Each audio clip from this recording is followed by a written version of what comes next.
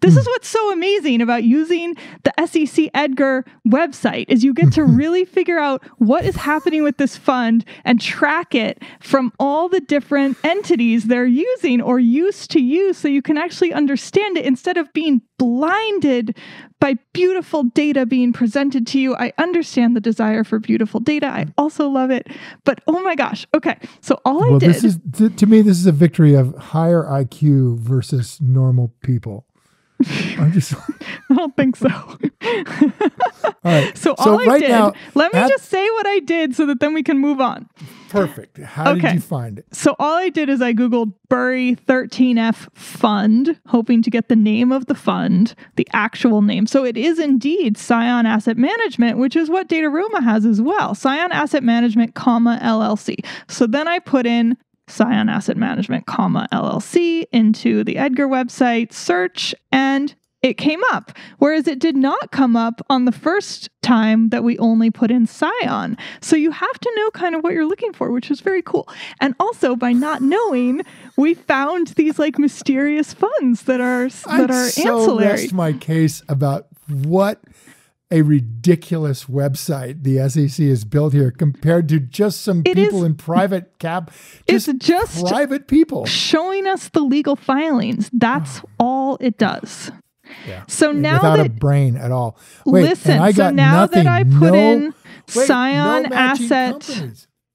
Scion Asset Management, comma LLC. Oh, you're and this kidding. one is a 13F-HR. 13F-NT means that they're not going to tell you any holdings. 13F-HR means it does have holdings. Wait, and- wait. I'm not getting anything. You're not? No. Put in Scion Asset. Scion Asset. and then it came up. comma LLC. Well, you don't have to put in the LLC. Scion Asset will bring it up. Scion Asset. You've got Scion Asset Partners is the first one, and then Scion Asset Management is the second one. Search. You're right. You know what I put in? You ready for how stupid this website is? I put in Scion Asset Management, comma LLC, and it told me there was nothing there. Well, that's stupid. Watch. Let's do it again. Let's, I mean, I'm, this is unbelievable. Okay, Scion Asset Asset Management LLC. There it is. Am I misspelling anything? Maybe I can't use capitals. There it is. It's right there. It's right below. Wait, it's right I'm there. click search. No, you you don't have to click. Okay. Oh my gosh. And what comes up? No matching companies. It was right there. It was showing up for you automatically. Where did it go? Oh my gosh. This is I mean- like showing your grandpa how to use the internet. Okay, wait. So here I am, Scion Asset Management. There's nothing on the page. No, no, no, no. You uh, you have hands? to. It shows it in automatic lookup. Click on the end. Delete there. Click on the end. Delete the C. Go back. Keep going back. Delete. Delete. Delete. Oh my gosh. Scion There we go. Asset Man. Put in asset. This is like torture. Okay. No, you're putting. Okay, just forget it. You're putting in too many words. I can't. I am so. this. This is This is proving like- everything I believed about this website. Proving it God without a shadow of a doubt. one should have to That it's totally screwed up and written by people who are on Okay, government. I'm taking your video off. I'm going to put my video on.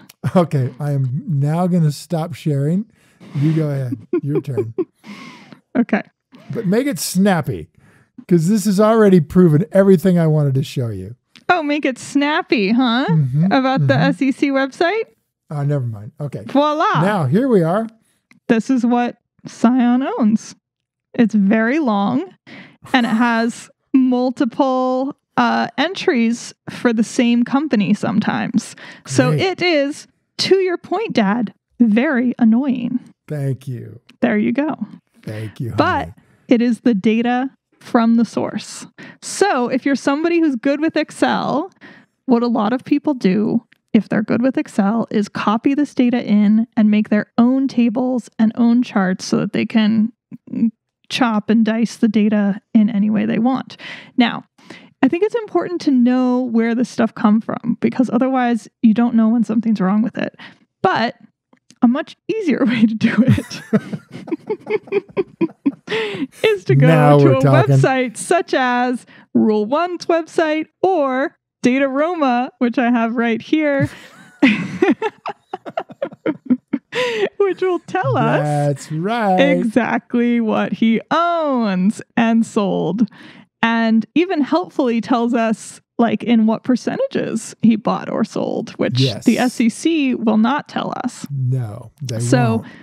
It's uh it's very nice and very helpful and very available. It's fantastic. It's ad supported, so anybody can use it.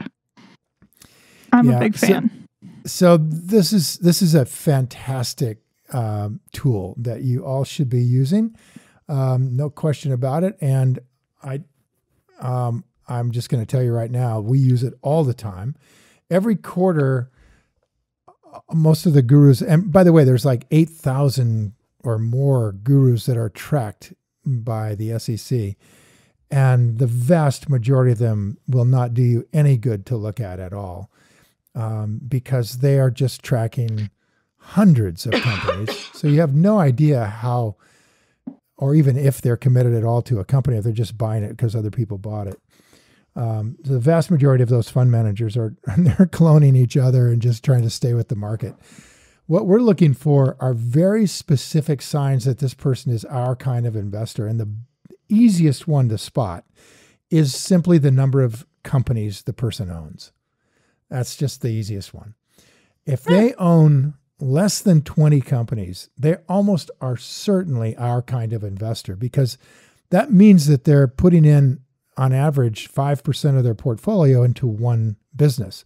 And this is really scary for the vast majority of people who are managing money. They don't want to get that committed to anything because they don't have that level of certainty and they're not doing that kind of research. So, this is rule one style investing. You're going to end up with a very small number of companies. And so we're looking for people who are gurus who have that same characteristic. So that would be the thing I'd be looking for on Dataroma, Whale Wisdom, over on our toolbox, and so on. I would like to know how you knew that Michael Burry or Scion has way more funds under management than are appearing on these 13Fs.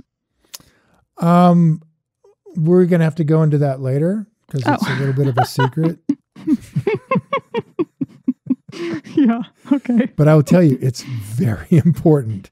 If you look at something and someone owns 25% of their portfolios in this one company or 47% of the portfolios in one company, you really need to know what the big picture is, right? So you can look up somebody like Prem Watsa and it looks like he has almost 50% of his portfolio in one company.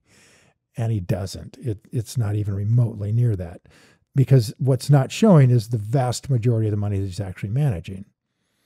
And that's because a lot of it's invested in foreign companies, a lot of it's in cash, and so on. So that's just- yeah.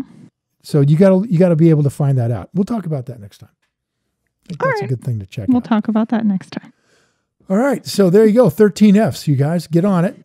Start cloning your little selves. And what you do with the clone stuff, by the way, is use it as a starting point for building your watch list. That's what you're going to Well, do. Well, and what we wanted to look at is kind of, you know, what these guys are buying and selling in this crazy time here, which Cool. is going to Let's do that. require some slicing and dicing of the data.